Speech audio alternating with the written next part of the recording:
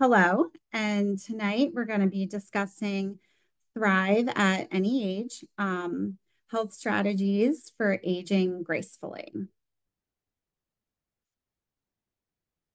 So, here I just have a quote um, by Sir Isaac Newton A body in motion stays in motion. So, this is just basically going to be the theme for tonight's talk.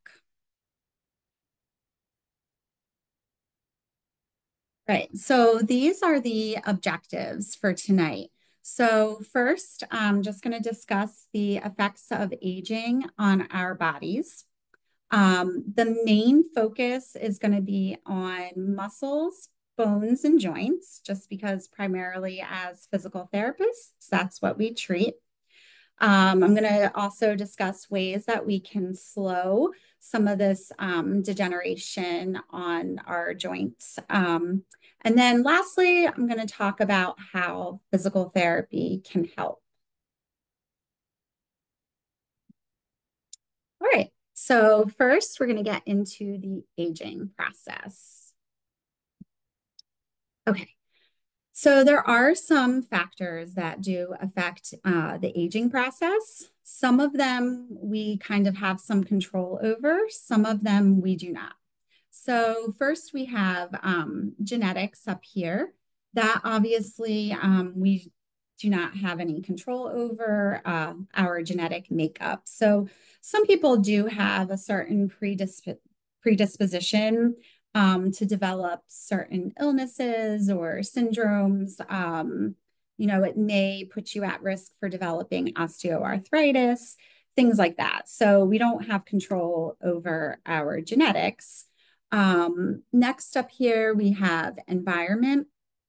Um, that, you know, we can kind of control to some extent, like, you know, not having excess of UV lights. So trying to stay out of the sun too much, that can help. Um, but also like pollution, depending on where you live, some of that can affect it as well. Um, lifestyle that we can definitely control um, you know getting proper nutrition the right amount of sleep um, exercise all of that can help trying to um, avoid smoking and drinking that can all help with um, aging and then psychological so some of that you can control too by stress management. Um, stress can affect aging as well. So, you know, trying to utilize some good techniques like meditation or grounding, some of that can um, help as well. Right. So this slide here has a ton of information on it. But this is going over all of the physiological effects um, of aging. So it affects many of the systems on our body. Um, so some of these we'll go into more detail about. Uh, I won't get into discussion about all of them. Um, the nervous system, that I won't really talk about, but I will um, touch base on that a little bit. So as you see here, it does say that there's um, a reduction in our proprioception. So proprioception is our body's awareness in space. Um, so that can help, that can affect balance, uh, which puts you at risk for falls. So we will talk about that later on in the slide. Um, it also, our nervous system, we do have a reduction, uh, diminished reflexes and kind of our coordination starts to we get less coordinated as we get older. And then that can um, affect balance as well. Um, integumentary system we won't really talk about that. That's our um, skin hair and nails. Obviously our hair we start to get gray hair. Um, our skin we lose the elasticity in our skin um, and the nails can become brittle immune system, um, you know, obviously that becomes weakened as we get older. Uh, cardiovascular system is affected. Um, you know, some of the blood vessels can be, the walls can become thickened. So our cardiovascular system has to work harder. Um, so this, you know, keeping up aerobic exercise that can help maintain this. Um, endocrine system, we do have a reduction in hormones. Um, our estrogen in females starts to decrease, testosterone in males will start to decrease. Uh, body composition, um, we will start to accumulate a little more fat versus muscle as we age. Um, also respiratory system um, this starts to this is also affected um, again aerobic exercise can help um, maintain that function uh, skeletal muscle this we will definitely talk about um, we'll get into more detail about that about how we do lose our muscle mass as we age um, digestive system, um, we do have reduced digestion and lack of absorption of nutrients. Um, urinary system, that's also affected. And then uh, the skeletal, um, skeletal system. So we do get a reduction in bone density as we age, and our joints can also become arthritic with age. So we'll talk a little bit about that too. We're going to focus more on the um, skeletal system and the musculoskeletal system. Also, some more effects of aging. Um, it does cause some mobility changes, uh, some sensory changes too. So sometimes our nerves are affected. So if somebody has diabetes, they may end up with peripheral um, neuropathies. So like they may lose the feeling in their feet.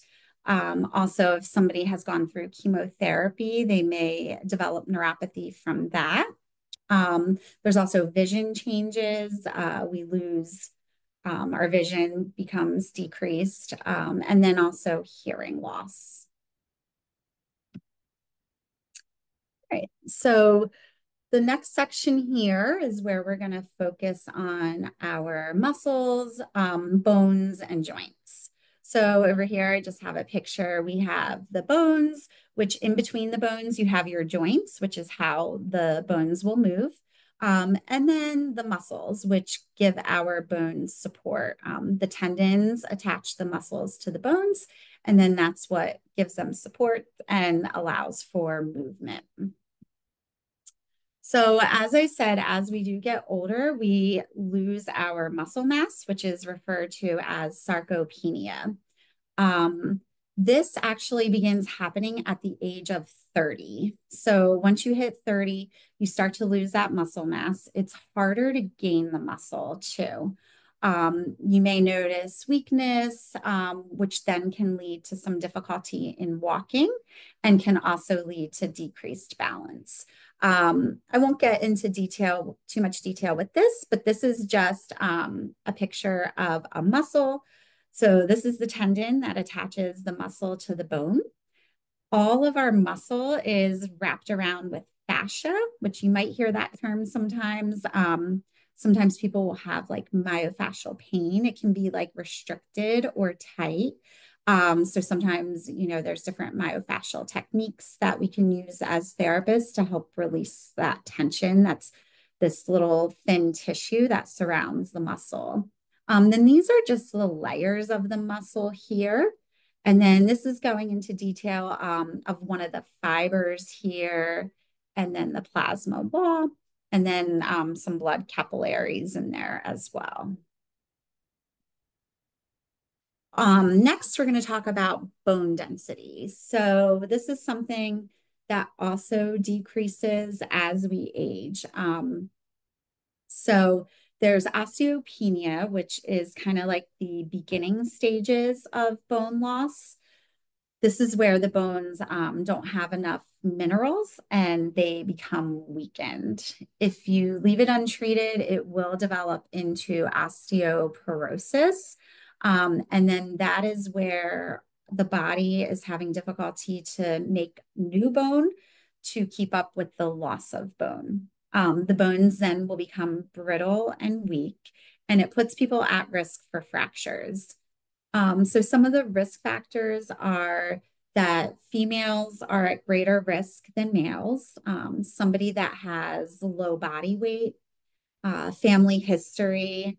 I also don't have it mentioned on here, but ethnicity also plays a role. So, people from European descent are more at risk um, medications too. So somebody who's been on corticosteroids like prednisone, that can put them at risk for um, developing osteoporosis. And then also lifestyle. So if you drink a lot of coffee, um, caffeine has been linked to um, putting people at risk for osteoporosis. Um, also, alcohol and smoking, all of that can put you at risk for osteoporosis. So, this is a healthy bone. You can see how it's all filled in here. And then this is somebody with osteoporosis, where you can see how the bone is very thin. It's almost like holes that are through the bone. So then since the bone is weak, if you fall, um, you know, it would put you at risk for developing a fracture. And here we're going to talk about um, some joint degeneration. So that's also something that our joints are affected as we age. Um, so joint degeneration, which is also called osteoarthritis. So some people get confused between osteoarthritis and rheumatoid arthritis.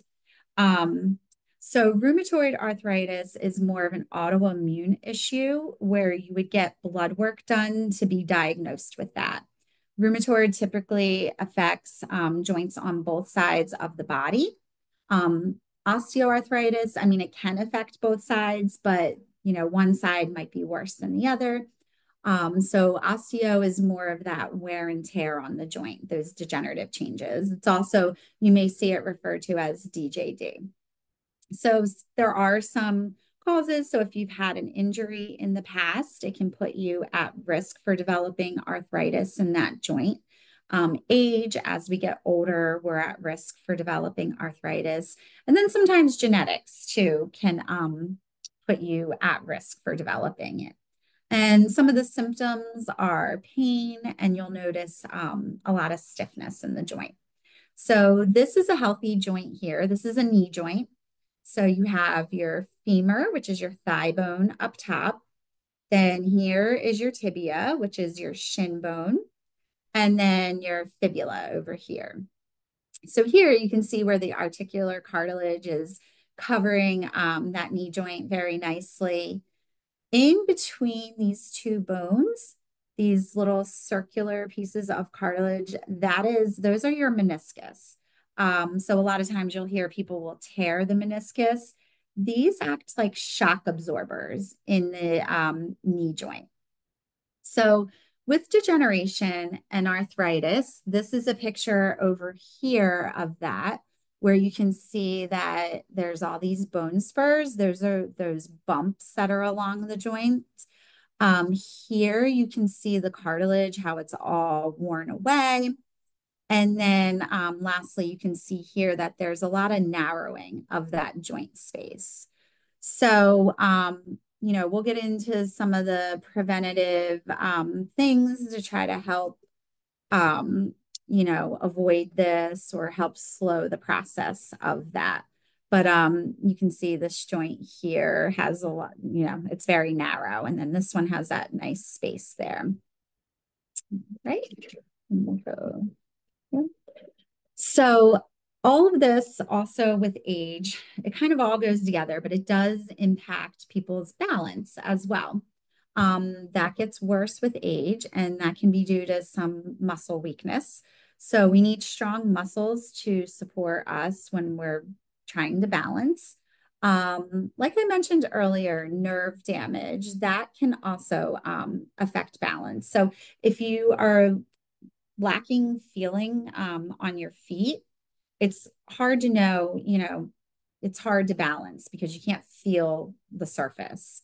Um, decreased coordination that can also um, affect balance. And if you're going to fall, it's kind of hard to stop a fall. Um, vision changes too. So balance kind of relies on um, our vision, our sensory, well, you know, how we're feeling the surface, and then also our vestibular system, which I didn't put in here. But that also, um, our vestibular system is in our inner ear. And that also decreases with age. Um, so sometimes people will start to develop vertigo, which vertigo is defined as the room spinning. So There's also people will get dizzy or lightheaded, but um, vertigo is defined as the room spinning. So there's many causes uh, for vertigo, but that can also um, happen as we age, and then that can also affect balance. Um, when somebody is at risk for falls, it can cause fractures, head injuries, and then these people do become less confident um, because they're afraid that they're going to fall again. And then this may make them less active, which then can lead to other illnesses. All right, so then the next topic that we're going to get into is um, prevention and kind of how to slow down um, some of these processes. And we'll talk about exercise and supplements and things like that. All right, so for muscle loss, one of the biggest things is you want to do resistive training, which that can consist of um, using that can consist of um, using TheraBands, um, body weight, uh, dumbbells, kettlebells, um, barbells, all of that. So basically, resistive training just means you're putting tension through the um, through the muscle to help get it strengthened. Um, the American Medical Association, they, oops, I didn't to go that way. They recommend um, strength training to be uh, two to three times a week and also along with 150 minutes of aerobic exercise, which sounds like a lot, but if you break it down and just do like 30 minute, like a 30 minute walk, five days a week, along with a um, couple times a week doing some strength training, then you're covering your bases for that. And that'll help slow the process of losing muscle mass. Um, now, bone loss, similar to that, again, strength training is very important. So as you remember from that slide I showed you very early on with the skeleton, our muscles support our bones. So they can help keep our bones nice and strong if we have strong muscles. So again, that um, strength training, resistive training is very, very important for bone loss. Um, also, weight bearing exercises have been shown to be effective for um, bone loss. So, over here on the side, um, I have a picture where I'm showing just examples of weight bearing exercise. So, there's two different versions. You can do low impact or um, high impact. So definitely high impact is going to be for somebody who's um, younger and already exercising. Um, so I would definitely stick to the low impact, like walking, whether it's outside or on a treadmill, um, you know, an elliptical, things like that. But weight bearing does help um, slow bone loss because putting stress through the bone can actually help the body lay down more bone in that area. So um, weight bearing is definitely beneficial to help with that. All right, and then we're going to talk about joint health. So I'm sure many of you have heard the term that motion is lotion, which is definitely true. So keeping your joints moving um, will help increase that synovial fluid, which we naturally have surrounding the joints. And it acts as a lubricant for the joint. So that can help prevent stiffness and um, will help loosen it up. So I have a picture here of people riding bikes. Um, this is no impact. So this wouldn't necessarily be the best thing for osteoporosis, but it's wonderful for joint health um, for your knees because it's no impact and that repetitive motion of the knees will increase the production of synovial fluid around the joint. Um, I also have on here glucosamine chondroitin. Um, studies show they're not sure if that really um, helps, you know, a lot. It can help prevent damage, but it doesn't help the wear and tear that's already there. So once you have that arthritis in the joint, it's pretty much there um, unless you were to get a joint replacement.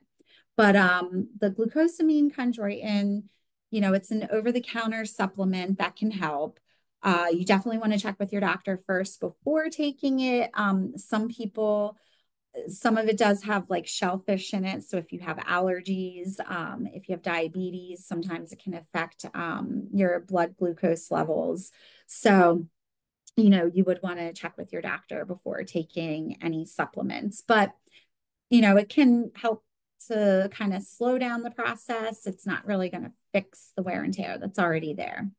Um, and then also trying to maintain a healthy weight. Um, that is very important. So they've done studies that show that um, the stress that goes through your joint, like your knee joint, is four times um, the weight of your body. So let's say a person is 10 pounds overweight, that would be like 40 extra pounds going through the knee joint. So that's why also exercise is important to try to maintain a healthy weight so you're not putting too much stress through the joints.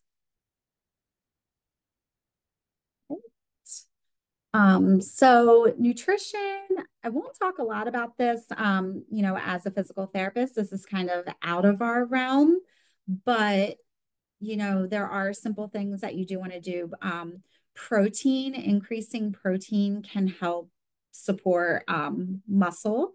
So you want to try to aim for 30 grams of protein each meal. And that can definitely help um, maintain your muscle mass. Also, increasing calcium intake. This is very important for our bone health. Um, so you do want to try to have calcium for that.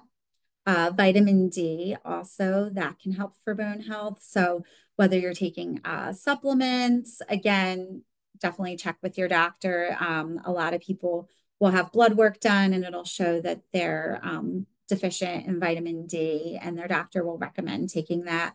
Um, also just sunlight, um, you know, not sitting out in the sun for a long time and making sure that you're still wearing sunscreen, but you know getting some sunlight every day can also help with um, our body's production of vitamin D. All right, so the last se section that we're going to discuss is how physical therapy can help with all of this. So as you know, I discussed how for muscles and bones and joints, exercise is very important. So that is um, what physical therapists are excellent at is exercise prescription. So when we see a patient, we will base their treatment off of each patient's individual goals, whether that may be they want to get back to gardening or they want to be able to pick up their grandchild again. Um, you know, we will determine exercises that will achieve those goals. We also will dose exercises correctly too, which is very important. Um, you know, some people will just start exercising and they have no clue how many reps to do or how many sets to do. Um, so as a physical therapist, we're very good at dosing exercise correctly. So sometimes somebody may do be doing something and it's causing them pain. And it's not necessarily that the exercise is wrong, it's that it's being dosed incorrectly. Um, so one of the things that we use, and you may see in our clinics, is the Borg um, RPE scale, rating of perceived exertion. So when you're exercising, you know, you don't want it to be really hard, but you also don't want it to be like super easy where you feel like you're not doing anything. You want it to be a little bit of a challenge, but you do want to be able to complete those 12 reps or 15 reps whatever you know you're doing of that exercise so you know you want to be able to complete the reps but definitely have some challenge also something else that we do is during a session we're monitoring a patient's vitals um, you know i always like to do it at rest and then you know during the treatment too just to see how they're responding so we can you know we'll determine target heart rate and see where you should be exercising at. So, um, you know, you want to kind of be in that moderate zone. So, like 50 to 70%. So, you want to find your max heart rate is always 220 minus your age. And that is your max heart rate that you do not want to go over, but you don't even really want to be like right near max heart rate. You really want to be 50 to 70% of that when you're exercising. So, those are all things that if you see a physical therapist, they can help you with. Um,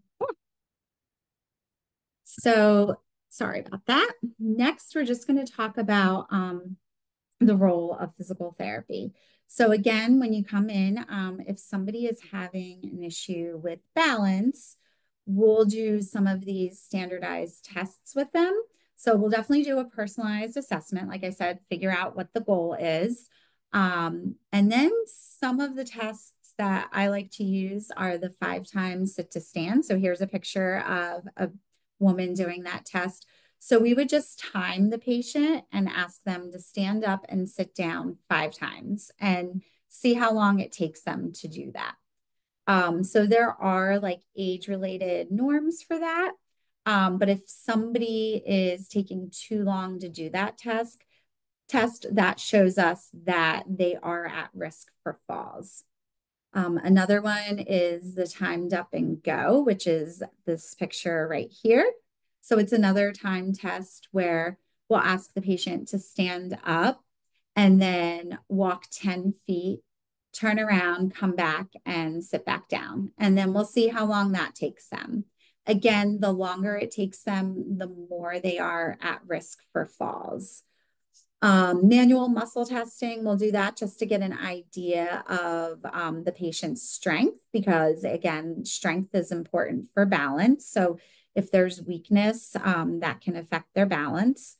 Range of motion, too, is important. If somebody's like really stiff and lacking mobility, um, you know, they may not be able to get around better or recover if they're going to fall. And then balance testing, too. So, we'll have them stand, you know, maybe stand in a um, tandem stance where one foot is in front of the other and balance, see how long they can stand there or see if they're able to stand on one foot. Um, sometimes we'll close the eyes or have them stand on a foam pad too, just to challenge it some more to, um, you know, see how their balance is and then to be able to determine what exercises they need to do. Um, we also, as PTs, are good at progressing exercises appropriately. So that's another thing. Um, you don't want to just continue doing the same exercises because our bodies will adapt. Um, and then we're not, you know, applying the appropriate stress to challenge our bodies to get us stronger. So um, if you're going to therapy, we'll definitely progress the exercises. Um, we will include balance activities, which will help prevent falls. And, you know, as a physical therapist, another thing that is great, you know, some people will say, well, I could just go see my personal trainer at the gym. But as a PT, you know, we're doing a thorough medical history review and taking into consideration previous injuries and surgeries. Um, so sometimes things need to be modified for patients so they're not re-injuring themselves or aggravating um, you know a previous injury. Another big thing is patient education. So you know we'll discuss ways to prevent falls. Uh, we'll talk about the house and you know telling them that you want to always remove throw rugs um, any clutter so you're not tripping um, also, if you use a night light when you get up in the middle of the night to go to the bathroom, that can be beneficial. Um, I also always tell people too to try to, when you first get up, sit at the side of your bed, wait a minute, um, just to make sure you're not lightheaded, dizzy, and then stand up, still wait a minute, make sure you're okay before you take off to go to the bathroom. I mean, I know sometimes people have to get up and go right away, but you do want to try to do that to make sure that you're safe. Um, and then also, I know nobody ever wants to use an assistive device, um, but sometimes it is necessary to make the patient safe. Um, so if you're at physical therapy, um, they can definitely make the appropriate recommendations on which device to use. Um, and we can also direct the patient of where to go to um, obtain a, an assistive device. And we can also properly measure it too. Um, so typically if you're standing, you want the handle of either the walker or the cane to come um, down right to like your palmar crease. So if your arms are just hanging at your side naturally and relaxed, and they go alongside of the handles here, you the handle should come right about here. So that way, when you're walking, there's a slight bend in the elbow, that they're not too straight, um, that you're not leaning forward too much, not too hunched over, um, or that it's not too high and your shoulders aren't up to your ears. So um, that's just some helpful um, things. I know nobody ever really likes to get an assistive device, but sometimes it does become necessary.